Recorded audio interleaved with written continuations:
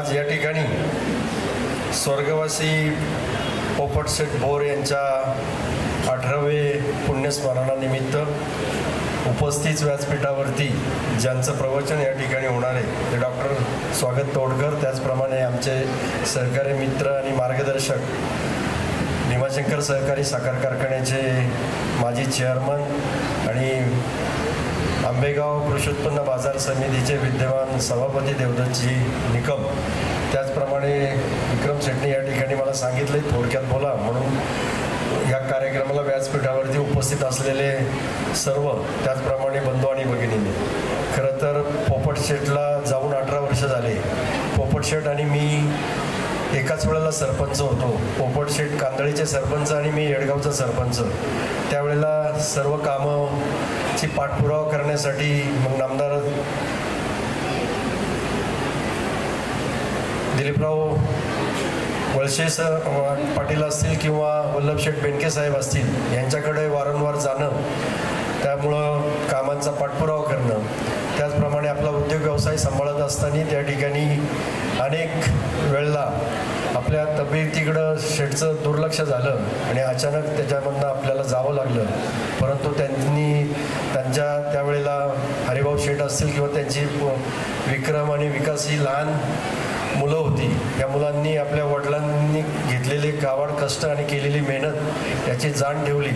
आणि लहान मुलाचे पाय ज्या पद्धतीने पाळण्यामध्ये दिसतात तशाच स्वरूपाचा पोपटशेटनी सुरू केलेला शेती व्यवसाय असेल किंवा मंडप व्यवसाय असेल याच्यामध्ये सुद्धा उंच भरारी त्या ठिकाणी विक्रम शेटने घेतलेली आहे. गेले दहा दिवसापासून या ठिकाणी हा नवरात्र महोत्सव या ठिकाणी विक्रम सेठ असेल त्यांच्या मार्गदर्शनाखाली त्यांचे सर्व सहकारी हे भरवत आहेत. खरं तर हा नवरात्र महोत्सव चौदा नंबर कांदळीचा छोट्याशा गावामधला एक जुन्नरमध्ये आदर्श मॉडेल म्हणून याच्याकडं पाहिलं जातं आहे अनेक जण त्यामध्ये मेहनत करत आहेत यडगावसारख्या ठिकाणी सुद्धा त्या ठिकाणी तुकाईचा नवरात्र उत्सव नऊ दिवस संपन्न होतो. परंतु आमच्या इकडं पहाटे चार वाजता चार ते सहा भजन आणि सहा वाजता आरती अशा कार्यक्रम असतो. आणि नवव्या दिवशी होम हवन त्याचप्रमाणे कीर्तन आणि महाप्रसाद असा कार्यक्रम असतो. मोठ्या संख्येने भगिनी वर्ग त्या ठिकाणी उपस्थित असतो.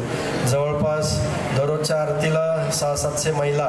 त्याचप्रमाणे शेवटच्या नवमीच्या दिवशी साधारणतः अडीच हजाराच्या जवळपास मै महिला आणि पुरुष असा मोठा उत्साह संपन्न होत असतो. आणि त्याच पद्धतीनं या ठिकाणी नऊ दिवस आपण जो काही उत्सव साजरा करत आहात चा औचित्य साधून आज जो काही सहा ऑक्टोबर हा पुण्यस्मरणाचा दिवस आलेला आहे तोही उत्सव या ठिकाणी साजरा होत आहे. नामदार दिलीपराव वळसे पाटील या उत्सवाला आणि पोपट शेट असेल किंवा या परिसरावरती चौदा गावांवरती त्यांनी केलेलं प्रेम त्याच्यातून हेलिकॉप्टरने सुद्धा या पुण्यस्मरणासाठी या पूर्व काळामध्ये उपस्थित झालेले आहेत. आज काही कारणास्तव ते या ठिकाणी उपस्थित नाही त्या त्याच्याबद्दल देवदत्त या सभापती या ठिकाणी बोलतील. परंतु एक जीवाभावाचा सहकारी आमचा त्यावेळेला खरं तर पोपटशेटच्या आणि माझ्या वयामध्ये फार फरक होता.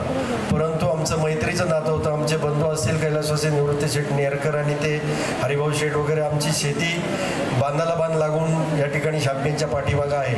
आणि मग अशांचं अचानक गेल्यामुळं निश्चित स्वरूपामध्ये या कुटुंबाला सावरण्याचं काम यांचे सगळे कुटुंबीय असतील किंवा ही मुलं असतील हे करतायत. आज विक्रम या ठिकाणी गावचं सरपंच पद म्हणून चांगलं काम करतोय आणि विकासही त्या ठिकाणी काम करतोय पण विकासला माझं आता सांगणं आहे की आपण निश्चित स्वरूपामध्ये कुटुंबाच्या विकासासाठी आणि प्रगतीसाठी या ठिकाणी व्यवसायामध्ये लक्ष देणं गरजेचं आहे.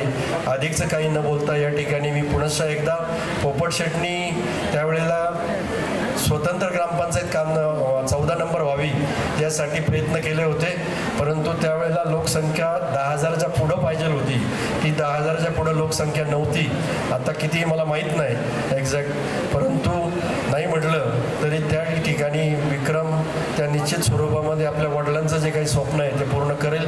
अशा प्रकारचा आशावाद बाळगत असताना या ठिकाणी उपस्थित माझ्याबरोबर आलेले येडगाव पंचायत समितीचे माजी सदस्य मच्छिंद्र पाटील काशीद येडगावचे माजी सरपंच देवीदास शेठ भोर येडगावचे माजी सरपंच सतीश शेठ नेरकर आणि इतरही अनेक मान्यवर येडगावचे उपस्थित आहेत. त्यांच्या वतीनं व्यक्तिशा माझ्या वतीनं आणि येडगाव गावातील विविध संस्थांच्या वतीनं त्याचप्रमाणे जय नागरी सहकारी पतसंस्था नारायणगाव यांच्याही वतीनं भावपूर्ण आदर